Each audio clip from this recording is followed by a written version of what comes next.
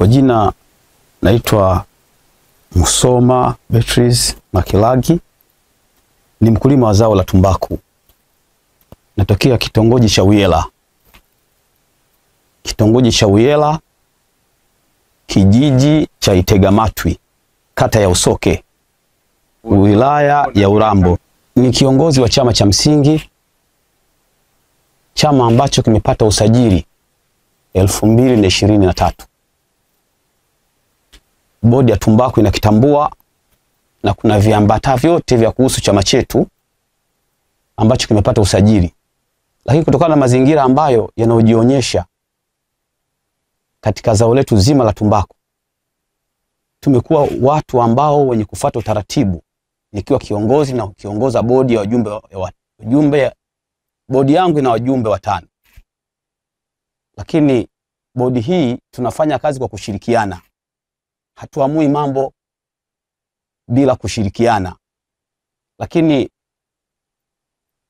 muda wa makisio ulipofika, tukaona sasa hapana budi, makisio elfu mbili ishirini na nne na mbili ishirini na tano tukapeleka makisio yetu, makisio ya ukomo wa bajeti.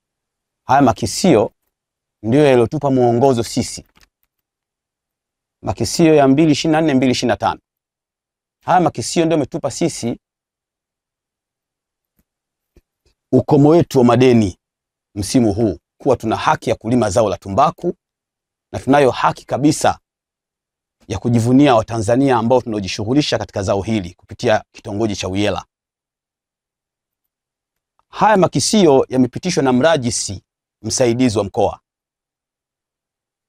na ndani ya makisio haya yana mambo mengi kuna bajeti, kuna matumizi yaliyomo humu ndani, kuna barua ambazo tumewaandikia benki ya Azania, benki ambayo ilikubali kutuhudumia. 2024 2025, walikubali kutuhudumia. Huduma ambayo itayohudumiwa na benki, walikubali kutuhudumia dola elfu themanini na saba.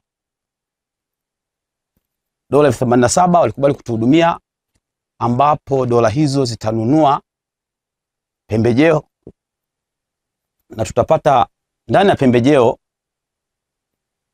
tutapata Confido, tutapata Kani, tutapata hiyo mifuko ya NPK na vitu vingi vimo humu ambavyo thamani yake ni dola elfu themanini na saba na mia mbili hamsini na nne na pointi sabini na sita.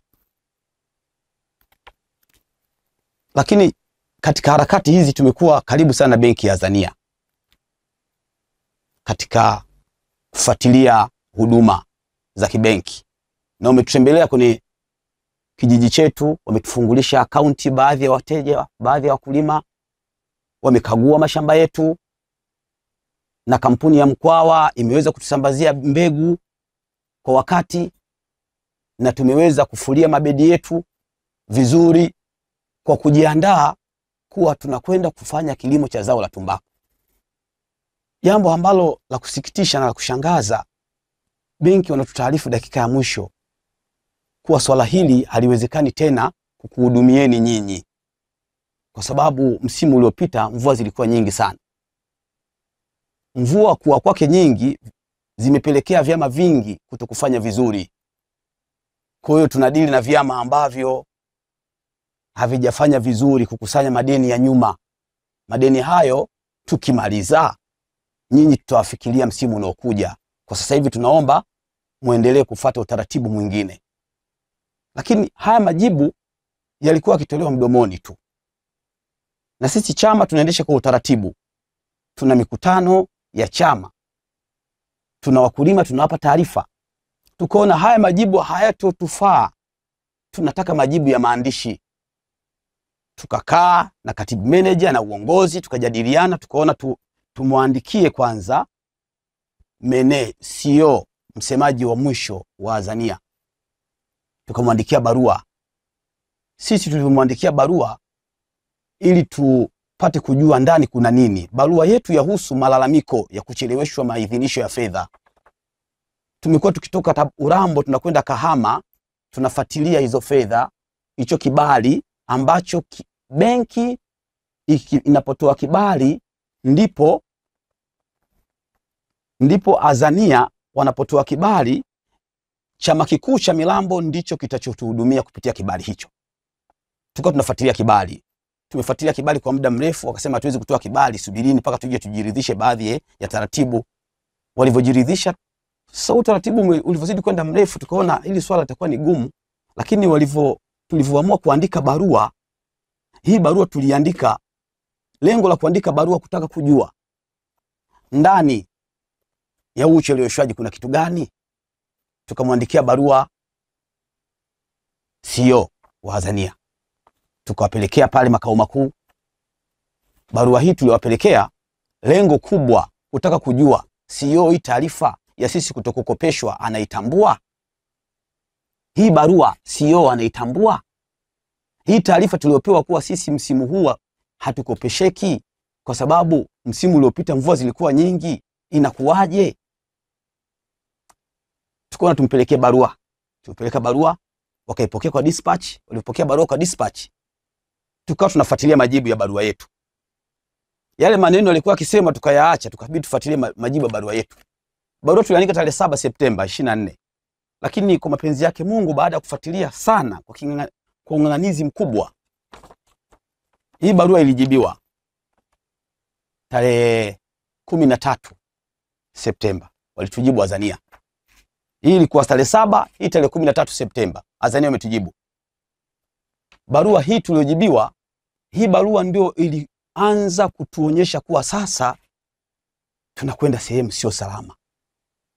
Wakulima tumeajiri wafanyakazi, wanatufanyia kazi mpaka sasa, mkataba wa mwaka mzima, wanaendelea kwenye shughuli za mabedi. Tunajenga mabani yaliyobomoka mwaka jana, tuna mipango ya ukarabati nyumba zetu. Hii barua haikutupendezesha, tukasema hapana. Hii barua yasema yahusu maithi, malalamiko ya kucheleweshewa maidhinisho ya fedha. Wamekopi kichwa cha habari kile ambacho tulichokuwa tumemwandikia CEO.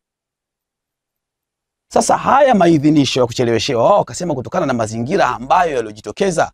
Kwanza tunawashukuruni sana kwa kuichagua benki ya Azania. Benki ya Azania tunawashukuruni kuichagua, ni wateja wazuri, wanakili kuwa sisi ni wateja wao wazuri, lakini kwa msimu wa 24 25 tunaomba mtafute sehemu nyingine ya kwenda kuhudumiwa. Huduma hii sisi hatutoendelea nayo. Vichwa viliuma sana, tukasema sasa sisi ni wakulima, tuko tunaandaa maandalizi ya kilimo, tutasaidiwa na nani? Tumefanya, nimefanya kama mwenyekiti wa chama, nimefanya harakati kubwa nyingi sana za kuta, za kulitaarifu hili swala ambalo lituweze kutusaidia.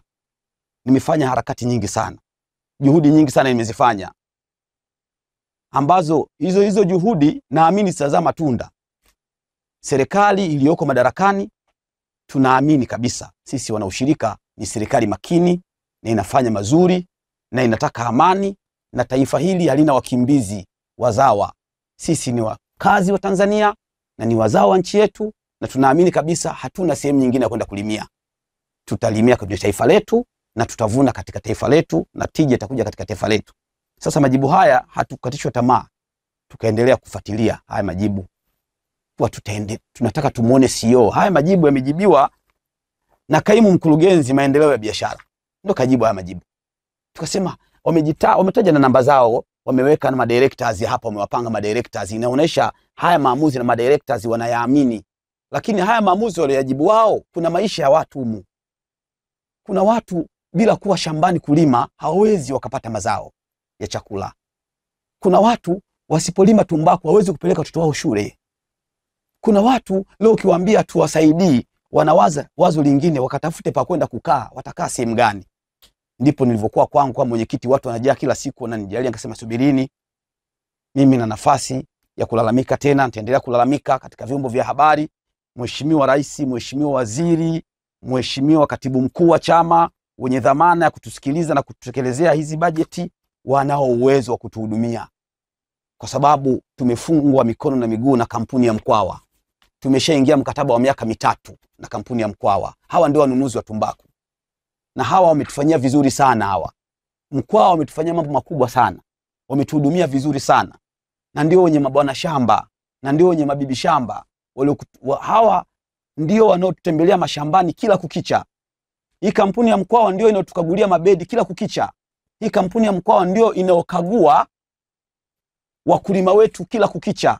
Hii kampuni ya Mkwawa ndio inayokagua location ya mashamba kuhakikisha kuwa tutavuna salama, tutalima salama. Sasa cha ajabu, benki bado wanajishauri namna gani ya kutupeleka shambani mpaka sasa, na muda unazidi kwenda.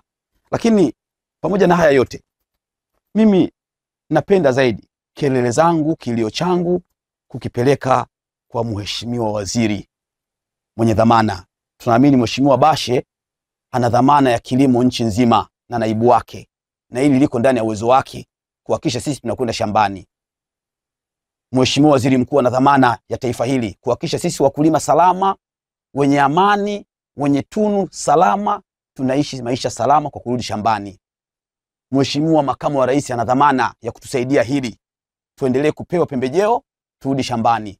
Mheshimiwa Dr. Samia Suluhu Hassan ndio rais wa Jamhuri ya Muungano wa Tanzania, na sisi wote tuko chini ya mamlaka, tuko chini ya uangalizi wake. Naamini hili swala kwake ni dogo la sisi wakulima kuturudisha shambani tukalime.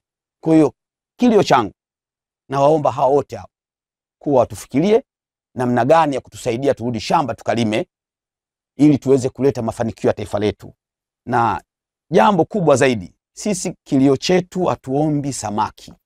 Hili neno linaweza kuwa gumu sana. Sisi tunaomba ndoano, twende shambani tukavue samaki. Tungekuwa na mfumo wa kwenda kuomba samaki, serikali ingetutafakari kivingine. Mkulima ndiyo tunu ya taifa hili. Leo mkulima anapokuwa analia, kilio chake kinaangaliwa kama cha kawaida, nadhani hatutakuwa salama mbele.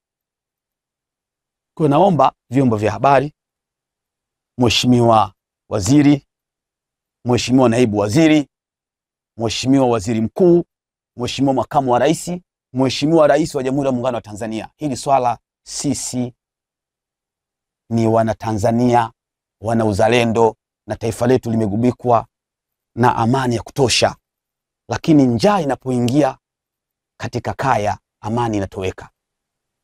Haya majibu yanatuletea njaa baadaye. Mkulima anapoomba pembejeo aende shamba, ukamwambia atafute njia ya kwenda, hii ni njaa baadaye. Watoto hawatokwenda shule, tunategemea watoto wapeleke shule kwa kupitia zao la tumbaku. Tunalima tumbaku mwaka mzima tukiwa kwenye mabedi, tunahangaika mabedi, tunalima tuna zao la tumbaku tunalihangaikia mwaka mzima tukiwa shambani. Tuna hakika mwaka mzima tunapohangaika, zao hilo litatupa na tija ya kulipa karo za watoto shuleni. Zao hilo litatupa na tija ya kuendelea kubadilisha mifumo ya maisha tuliyokuwa nayo. Zao hilo litaendelea kutupa natija ya kutubadilishia mfumo wa pale kijijini na kutuongezea mapato, kwa sababu kuna vitu ambavyo mpaka sasa vimo ndani ya ukomo wa madeni humu. Hivi vitu mrajisi wa wilaya amevisimamia na kila siku anatukumbusha kuna utaratibu kutokana na vilo tulivyozalisha kupeleka mchango katika mashule ya sekondari, mashule ya shule za msingi. Tumekubaliana watoto wetu wanaosoma mashuleni tupeleke chakula, kwa sababu muda wanaotoka ni muda umekwenda. Walimu wapate nafasi ya kuwafundisha watoto waweze kuelimika vizuri, wazazi tupeleke chakula. Na sisi Tegamatwi AMCOS tuna utaratibu, endapo tutaporudi shambani, tuna gunia ambazo tutazipeleka shuleni kwa ajili ya watoto wetu. Leo unaposema utusaidii, hawa watoto watakula chakula gani wakiwa shule? Wamekwenda shuleni, muda wa chakula umefika. Sisi hatujalima mahindi, tumekosa mbolea. Umetunyima mbolea, umesema ni vigumu kutusaidia. Haya, mbolea tumekosa, mahindi tutalimaje? Tupeleke shuleni. Tumebomokewa nyumba na mvua iliyopita, tunategemea kilimo cha safari hii. Mwenyezi Mungu atatusaidia ili tuweze kukaa kwenye mstari salama, tuweze kurudi katika mazingira salama. Namna gani ambapo tunaweza tukafanya mazingira salama, na mazingira salama yako kwenye kilimo chetu hichi. Kwa hiyo katika mazungumzo haya yanayozungumza, ningependa kuambia waandishi wa habari kuwa sisi ni wakulima safi, ni wakulima tunu katika taifa letu, ni wakulima wazalendo katika taifa letu, na tuna ndoto za kuwa wakulima bora katika Afrika, na ndio maana tunapambana na hii hali, na tunaamini zao la tumbaku tukilifanyia ustawi mzuri, tukalifanyia usimamizi mzuri, litatufikisha pakubwa, naamini. Na hao nao waongoza, tuna malengo makubwa ya kufanya kazi ndani ya taifa letu, na hawa ninaowaongoza kila kukicha, wakina mama wakiwemo, wakina baba wakiwemo, watoto wadogo wanaoongozwa na hizo familia, wajane wakiwemo, katika kilimo hichi hichi tuna malengo makubwa ya kubadilisha mfumo wa maisha yetu. Tunaamini kabisa serikali haigawi fedha, serikali inatoa programu ya kazi, na sisi tuliokuwa vijijini, kauli mbiu yetu ni kufanya kazi. Na mfumo mzima wa zao la tumbaku sio kama unavyolima mahindi, sio kama unavyolima karanga, sio kama unavyolima alizeti. Mfumo wa zao la tumbaku ni mfumo wa zao la kimkakati, ni zao ambalo liko kwenye mfumo wa kalenda. Ukiachana muda ukikuacha, hutofanya kilimo tena. Makisio haya tumeanza kuyafanya, ukiangalia ndani yana muda mrefu. Haya makisio mpaka amepitishwa kabla, tumeanza muda mrefu mlolongo huu mpaka umekaguliwa, lakini hawa benki wako kimya, wanasema tumeanza mkakati huu wa kikalenda muda mrefu, tunajua tuko na hawa watu. Kwa hiyo tunaamini kabisa hatujaruka kanuni hata moja. Tumekwenda ofisi ya mkuu wa mkoa wa Tabora, tumeonana na katibu wa mkuu wa mkoa wa Tabora, naye katusaidia sana namna gani tutapata msaada wa jambo hili. Tumekwenda Dodoma, leo tuko Dar es Salaam kwa ajili ya kupata msaada jambo hili, na ninaamini taifa letu linaweza kutusaidia. Benki ya Azania wameandika haya. Hii sio amri ambayo itamshinda mheshimiwa rais kutuhudumia. Hii sio komandi. Sisi tunaomba tuhudumiwe kwa sababu ndio wakazi wa taifa hili. Kwa hiyo kwa kusema haya, ningependa kusherehesha nilikuwa nimezungumza mwanzoni kuwa hili zao kwa ufupi, zao hili lina utaratibu wake, kwa sababu huwezi ukanunua pembejeo ya NPK kwenye maduka ya kawaida, huwezi. Serikali hairuhusu, wala chama kikuu hakina uwezo wa kutununulia pembejeo sisi, isipokuwa benki ndio yenye uwezo pekee ya kutoa kibali, na kwa kibali hicho chama kikuu ndicho kinacho uwezo kinachukua mamlaka ya kibali hicho kutusambazia pembejeo kutokana na kibali cha benki, na serikali imeona hivyo, benki ndio asimamie na kuona benki ndio asimamie. Kwa hiyo benki wanasimama pale pale kuwa wao ndio wenye mamlaka ya kutoa vibali katika vyama ambavyo mrajisi amejiridhisha, mrajisi amejiridhisha, afisa ushirika wa wilaya kajiridhisha, afisa mtendaji wa kijiji kajiridhisha. Benki wana mamlaka ya kujiridhisha na wao. Wanaposema wanatoa matamko kuwa hatuwasaidii, mkatafute sehemu nyingine, tumeshafungiwa mlango kwa nje. Utaratibu uliopo, hatuwezi tukafanya kazi ya aina yoyote, kwa sababu mbolea, hata kama una fedha, huwezi kuipata mbolea. Ndio maana sisi tukasema tujaribu, kwa majibu ya benki, tujaribu tuone. Chama tukapata fedha milioni mbili, tukapata fedha milioni mbili na laki tano tukasema tu, tuwaandikie barua tumwandikie barua meneja wa Milambo na bodi yake kwa ujumla. Tukamwandikia meneja wa Milambo barua hii hii barua tumemwandikia meneja wa Milambo ya, ku, ya, ya husu maombi ya, ya kupokelewa fedha milioni mbili na laki tano. Tumejichanga changa, mwenye kuuza kuku, mwenye kuuza bati, tumejichanga changa, tumepata fedha. Tunaomba fedha hizi mzipokee, mtupe akaunti namba, mpokee fedha ili muweze kutupa mlango wa kupata pembejeo. Hii barua ileta kelele, hii barua ileta kelele. Sheria hairuhusu chama kikuu kupokea fedha kutuhudumia sisi wakulima, hata kama tunazo mfukoni, isipokuwa TCJE. Kwa maelezo yao hapa, TCJE ndio wenye mamlaka ya kusambaza pembejeo katika vyama vya ushirika chama kikuu. Vyama vyote vikuu vya ushirika vinasambaziwa na TCJE na vyama vikuu vya ushirika vinapokea uhundi kwa vyama vidogo. Benki wakiidhinisha chama fulani kihudumieni, TCJE wanapewa taarifa na chama kikuu, jamani, hawa wapendi pembejeo. Lakini sasa kwa barua hii wakagoma, wakasema hatuwezi kuchukua fedha, hata tukichukua hizi fedha tutazipeleka wapi? Na hii barua tukapeleka nakala mrajisi msaidizi wa vyama vya ushirika, afisa ushirika wa wilaya, meneja mkoa Mkwawa, tukampa na mkuu wa wilaya Urambo. kwa taarifa kuwa sisi tuna shida. Hii barua hatukutosha tukasema tulizike na hii barua, tukasema hapana, tunaomba majibu ya barua yetu ya tarehe tisa Septemba ishirini ishirini na nne. Tumejibiwa barua hii tarehe kumi na nane Septemba ishirini ishirini na nne. Milambo imejibu barua vizuri sana. Chama kikuu kinachosimamia vyama vya ushirika wilaya ya Urambo wamejibu barua vizuri sana.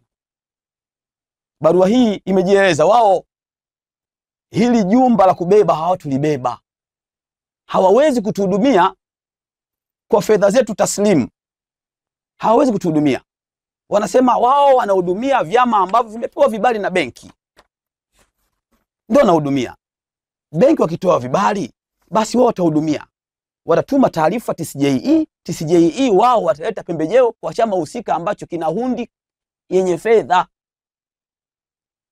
Sasa kwa, kwa barua hii tukaona hatuna pa kukimbilia.